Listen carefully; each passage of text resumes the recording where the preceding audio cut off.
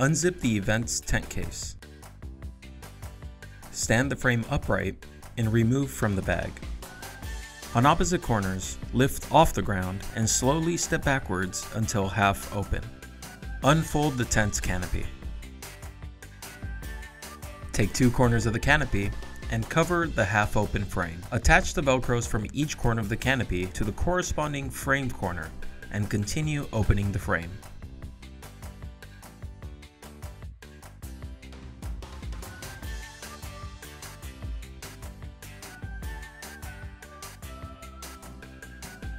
Line up the sew line to the center of the frame's leg. From the sides, push the inside part of the frame upward. Raise the sliders at each corner until they snap into place.